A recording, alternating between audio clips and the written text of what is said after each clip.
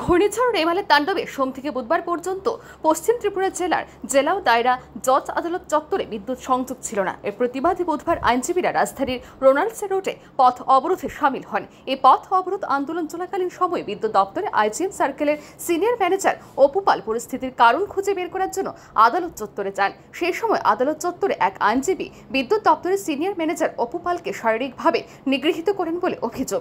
এই ঘটনাটি জানাজানি হতে বিদ্যুৎ দপ্তরে বিভিন্ন স্তরের কর্মীদের মধ্যে তীব্র ক্ষোভের সৃষ্টি হয়। বৃহস্পতিবার বিদ্যুৎ দপ্তর, ইঞ্জিনিয়ারিং শাখার প্রকৌশলীরা বিদ্যুৎ নিগমের সামনে সমবেত হয়ে সংশ্লিষ্ট ঘটনার তীব্র নিন্দা প্রতিবাদ জানান।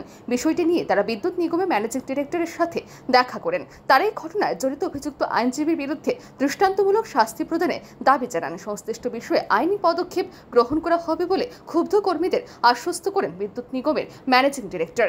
এদিন বিক্ষোভ কর্মসূচিতে অংশগ্রহণ করে প্রতিবাদকারীদের একজন এই সংবাদ জানান। একজন অ্যাডভোকেট যিনি আইনজীবী, আমাদের আইজিএমের যিনি সিনিয়র ম্যানেজার অপুপাল উনি কর্তব্যরত অবস্থা ওখানে কাজ করতে গিয়েছিলেন।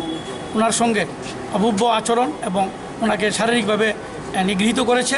এটার জন্যই আমরা আজকে সারা ত্রিপুরার সমস্ত ইঞ্জিনিয়ারিং সংগঠনের যারা আমরা আছি ইঞ্জিনিয়ার্স ফেটার্নিটি আমরা এটার প্রতিবাদ এবং বিক্ষোভ দেখাচ্ছি এবং এই এটাকে সামনে রেখেই আমরা আজকে আমাদের এই বিদ্যুৎ নিগমের যিনি ব্যবস্থাপক বা ম্যানেজিং ডাইরেক্টর ওনার সঙ্গে আমরা সবাই মিলিত হয়েছি। ওনার কাছে আমরা একটা প্রতিকার চাইছি এবং উনি আমাদেরকে আশ্বস্ত করেছেন যে দপ্তর থেকে যা যা ব্যবস্থা নেওয়ার আইনি ব্যবস্থা ওনার ওনারা নেবেন। আমাদের বক্তব্য হচ্ছে যে আইনজীবী সবাই খারাপ না, কিন্তু যেই ভদ্রলোক কালকে এই অভব্য আচরণটা করেছেন ওনার আমরা একটা দৃষ্টান্তমূলক যাতে শাস্তি হয় বা দপ্তর থেকে যাতে সেরকমভাবে ব্যবস্থা নেয় সেটা আমরা জানিয়েছি।